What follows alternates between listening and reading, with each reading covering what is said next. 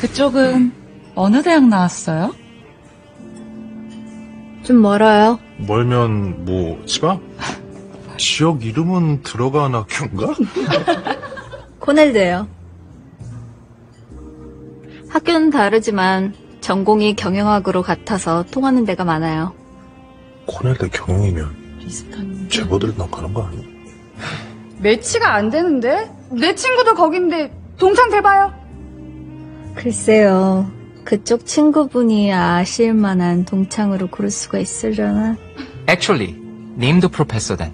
I know people in Cornell. Do you even understand what I'm saying?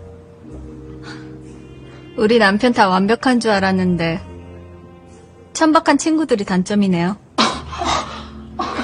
윌슨 교수님이 이런 데서 이름을 말하라고 절 조기 졸업시켜 주신 건 아닐 텐데. And excuse me?